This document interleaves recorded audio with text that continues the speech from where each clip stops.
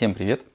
Сегодня на обзоре у меня довольно интересный, необычный и даже, я бы сказал, очень странный нож э, от компании китайской Fura Gear. Э, вот такой вот флиппер. Нож очень интересной формы, э, яркий, выразительный очень дизайн, использованы классные материалы. Тут и сталь D2 на клинке, и титан на рукояти, анодированный, причем в цвет. Разные цвета есть. Клинок обработан, очень мне нравится, как а-ля Stonewash. Такое покрытие, классная заточка из коробки. Подшипники. Прежде чем углубиться в какие-то технические подробности, в какие-то ощущения, э, хочу небольшую предысторию рассказать, откуда нож у меня появился. Ко мне обратился китайский магазин Gearbest и предложил взять на обзор несколько ножей. Я подумал, почему бы и нет, интересно. Э, какой-то необходимости у меня практически в новых ножах не было, или, по крайней мере, не было необходимости в тех ножах, которые они мне предлагали. Поэтому я решил выбрать следующим образом. Первый нож я взял просто самый популярный э, нож по продажам на сайте Gearbest. И так у меня появился вот такой вот ножичек. И второй нож я выбрал совсем по другому принципу. Э, я решил взять из относительно дорогих ножей что-то с необычным дизайном, с которым я был совершенно не знаком. И я обязательно захотел, э, чтобы клинок был там-то. Так у меня появился вот этот ножичек от фуры. Достаточно интересный дизайн. Очень компактный. Клиночек полностью убирается в рукоять. Ну, как я уже говорил, очень интересные материалы. Очень мне нравится. Конечно, когда я его смотрел на сайте, мне было абсолютно непонятно, что это будет за нож. Ну, я большого, в общем-то, значения этому не, при... не придавал. Мне хотелось просто, чтобы нож был красивый и чтобы это было что-то новое, ну, с новыми для меня ощущениями. И когда этот нож пришел ко мне, конечно, сказать, что я удивился, ну, это практически ничего не сказать. Э, я вообще не думал, что такие ножи бывают в принципе. Э, не то, что он какой-то плохой, нет. Э, нож мне очень нравится. Э, отлично собран, приятно флипует. Вообще нулевые практически у него люфты во всех направлениях. Как я уже говорил, яркий дизайн. Ну и цвета тоже яркие. Присутствует вау-эффект, я это ценю. Явно дизайнеры постарались. Либо скопировали откуда-то, либо сами придумали. В целом э, нож очень приятный, держать его в руках приятно. Несколько слов скажу по конструкции. Фиксируется с помощью системы SideLock. Видно? Пяточка скошена под углом. Упирается в сторону. Садится достаточно плотно. Очень хорошо садится. Э, снимать блокировку ну, достаточно мне, например, неудобно. Здесь сняты фаски с обеих сторон. Видимо, для того, чтобы сюда как-то лучше заходил палец, глубже проваливался. Но у меня это работает немножко по-другому. Эти две грани, они хоть и достаточно гладкие, но все равно в палец врезаются. Ну и так, если играться ножом долго, палец начинает болеть.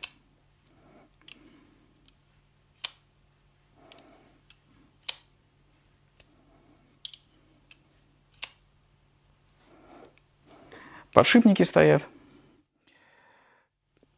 Видно, что присутствует шарик фиксирующий. Раз.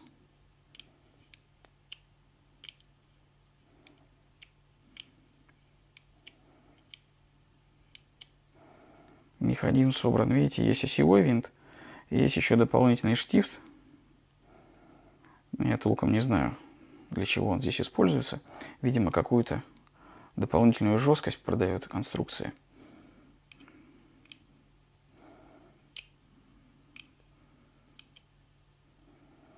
Клипса. Клипса тоже из титана. Клипса не переставляется. В меру она такая жесткая. Ну, даже я бы сказал, она жесткая. Э, сидит на кармане ноша, в принципе, очень даже неплохо. Э, размеры компактные. Вес 95 грамм длина в закрытом состоянии 120 мм, длина в открытом состоянии 213 мм, длина клинка 93 мм, толщина ножа, если мерить без клипса, 13 мм, с клипсой 17 мм. Собран классно. Клиночек абсолютно, смотрите, стоит по центру, закрывается так же, как открывается, очень приятно. Четко фиксируется, ход очень плавный. Ну, я бы сказал, что собран достаточно благородно. И дальше начинаются интересные особенности конструкции. Э, даже не конструкции, может быть, а скорее даже общего дизайна. Толщина лезвия в обухе 4 э, мм. То есть очень толстый клинок, просто лом. Но если посмотреть на его общий дизайн, никогда не скажешь, да, что он предназначен для тяжелых работ. Ручка это как бы такого какого-то силового хвата не обеспечивает. Насечки эти на лезвии носят скорее ну, декоративный характер, чем какой-то прикладной. Но я бы сказал, что они, может быть, даже... Да, нет, они, скорее всего, ни на что не влияют. Есть они, нет, без разницы.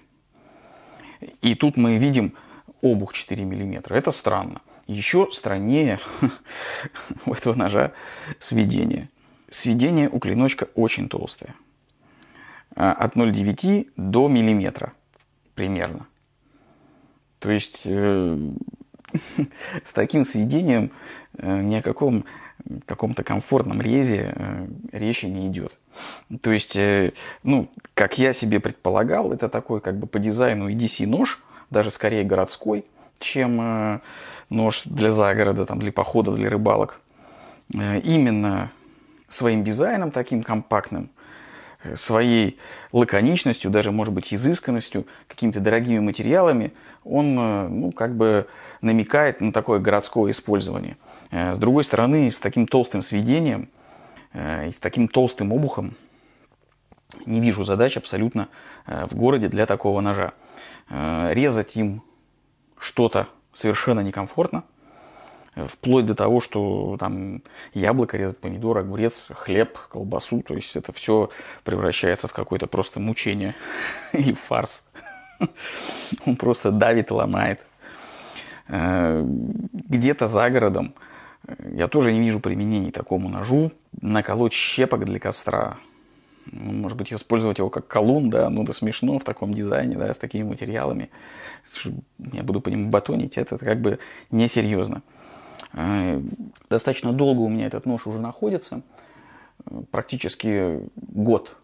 Э, и весь этот год он у меня вызывает такое недоумение, не понимаю я, как мне его можно было бы применить, вплоть до того, что у меня такие мысли возникли, может быть, когда дизайнеры делали этот нож, они его разрабатывали как нож для самообороны, такой компактный, красивый, в городской эстетике, в изысканный, костюмный какой-то такой нож. Но, тем не менее, это нож для того, чтобы можно было как-то воткнуть ему кому-то в пузо.